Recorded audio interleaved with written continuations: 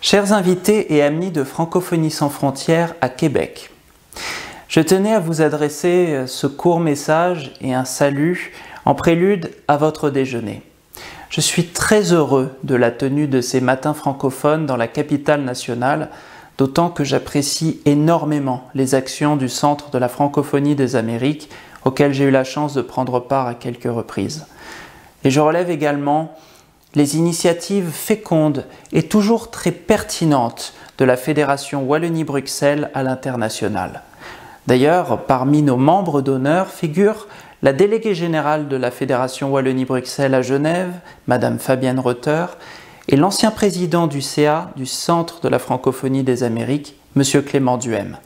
Tous deux ont été et continuent d'être des défenseurs acharnés, des bâtisseurs de cette francophonie internationale qui nous est vraiment chère. Merci à nos bénévoles qui ont organisé cet événement. Euh, Sophie Amel Dufour et les autres membres de l'équipe de Québec de Francophonie sans frontières, dont Fetra et Joanie ont été des pionniers. Merci également aux équipes de la Fédération Wallonie-Bruxelles, dont Sophie Omari. Et puis, l'événement de ce jour se tient au sein de l'hôtel Château Laurier Québec, en cette veille de la Journée internationale de la francophonie. Cela a beaucoup de sens, car cet établissement s'engage depuis plusieurs années dans une démarche franco-responsable.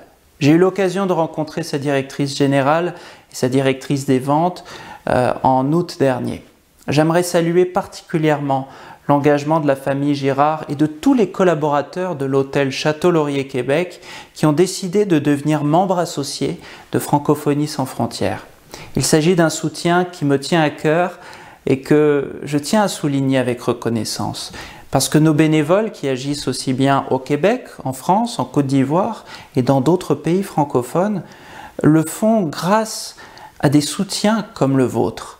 Alors merci également aux deux intervenantes euh, pour l'anecdote, je garde précieusement en mémoire le moment de complicité que j'ai partagé avec vous, cher Johan Whittam, à Moncton, au Congrès mondial acadien, sur un air de Ginette Renault.